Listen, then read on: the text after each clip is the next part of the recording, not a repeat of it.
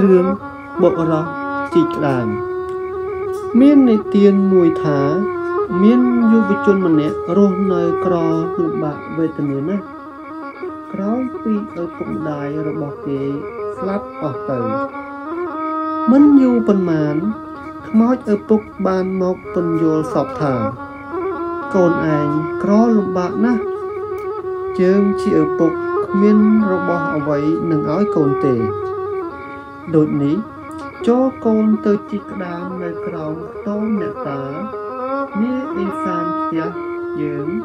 ដើម្បីយកទៅលក់ក្រន់ចិញ្ចឹមជីវិតរាល់ថ្ងៃកំបីខានបរោះនោះក៏ទៅជីកក្តាមតាមការពន្យល់សពរបស់ឪពុកគាត់ជីកបានក្តាមយកទៅលក់បានប្រាក់រាល់ថ្ងៃ នៅស្រុកនោះមានមហាសេដ្ឋីម្នាក់មានកូនស្រីច្រើនកូនស្រីបងបងទាំងប៉ុន្មានសេដ្ឋីបានរៀបចំឲ្យមានប្តីអស់នៅសល់តែកូនស្រីពៅម្នាក់ឈ្មោះនាងពៅនាងប្រកែកមិនព្រមយកប្តីឡើយថ្ងៃមួយ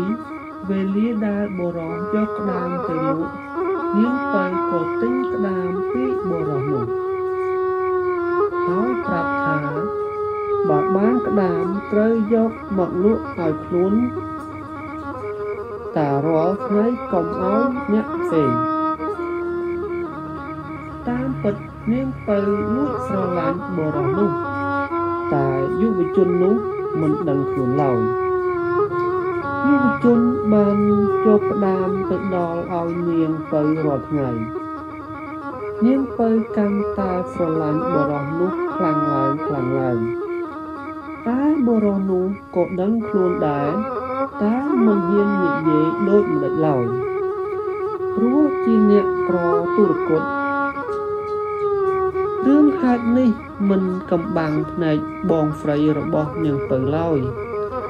បងស្រីក៏នាំគ្នាយកដំណឹងនេះទៅជូនប្រាប់ឪពុក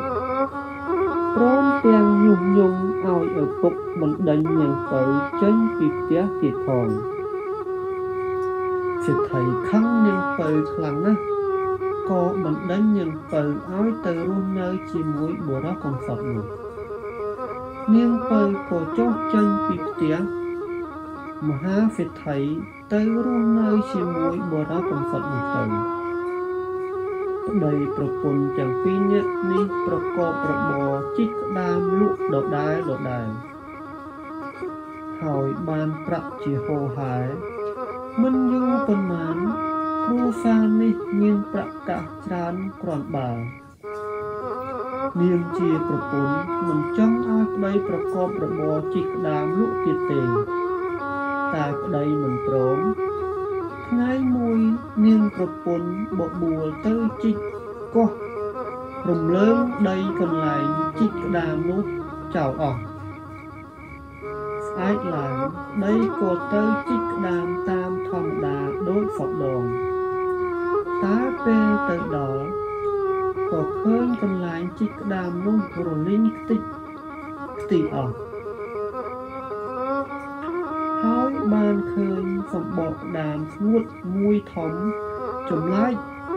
ក៏កាន់យកទៅទុកក្រោមផ្ទះដោយមិនបានប្រាប់ប្រពន្ធឡើយនៅវេលាយប់នាងពៅកាន់ប្រាក់របូតពីដៃមួយណែនធ្លាក់ចំសម្បកក្តាមនោះនាងមិនបានប្រាប់ប្តីទេព្រោះនឹកថាចាំព្រឹកឡើងចាំរើសយកមកទុក នោះព្រឹកឡើងនាងទៅរើសស្រាប់តែឃើញប្រាក់ទុំសម្បកដាវនាងក៏ប្រាប់ដំណឹងនេះដល់ប្តីរាល់ពេលវេលានាងពៅតែងទម្លាក់ប្រាក់ឲ្យចំសម្បកដាវលុះព្រឹកឡើងនាងចុះមករើសឃើញប្រាក់ពេញសម្បកដាវបើទម្លាក់ប្រាក់ណានសព បោកដាមពេញដោយប្រាក់ណែមបោទម្លាក់មាសប្រាក់សម្បោកដាមពេញដោយមាសប្រាក់ដែរមិនយូរប៉ុន្មានគ្រួសារនាងពៅខ្លាយជាអ្នកមានស្ដុកដុំហើយយកមាសប្រាក់ទៅកប់ទុកចានអន្លើថ្ងៃមួយនៃប្រពន្ធមានការនឹករលឹក ដល់សេដ្ឋីជាមេដាបៃតាពួកគេក៏នាំគ្នាទៅសួរសុខទុក្ខគាត់តើនៅពេលទៅដល់ត្រូវបងស្រីស្រីជេរប្រមាថមើងងាយមើលថោកតេះដៀលថាជាមនុស្សប្រហាមឪពុកម្ដាយកាត់កាលចោលហើយហេតុអ្វីក៏មករករកទៀតនាងពៅឆ្លើយត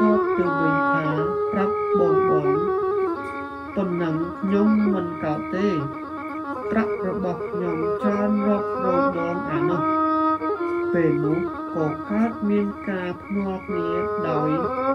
មានទៅឲ្យបងស្រី ស្រីទៅប្រាប់ទៅរាប់បាតរបស់ខ្លួនបើរាប់អស់ក្នុងមួយថ្ងៃនាង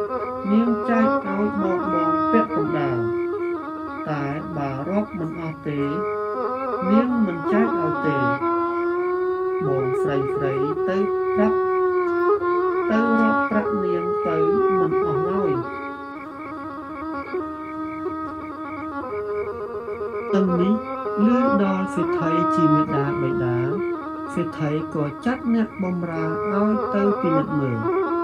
ទើបដឹងថាគ្រួសារនឹងពៅមានប្រាក់ច្រើនមែន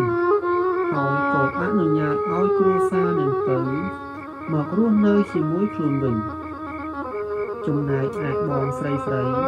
ក៏គោរពកោតខ្លាចនាងពៅនិងប្តីនាងនោះខ្លាំងណាស់ក្រោយមកសេដ្ឋីក៏ធ្វើមរណកាលទៅ បរោះជីកក្តាម និងនាងពៅបានខ្លាចជាសេដ្ឋីចំនួនវិដាបៃតាដកស្រង់នឹងការសម្រួលចេញពីសុភៅព្រេងខ្មែរភាគ1ក្រុមជំនុំទំនៀមទម្លាប់ខ្មែរ